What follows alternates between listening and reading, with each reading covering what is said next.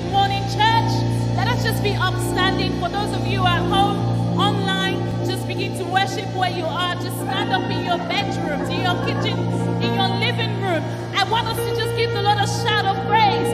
Lift up your hands and bless his name. This morning we want to bless the Lord. The psalmist said.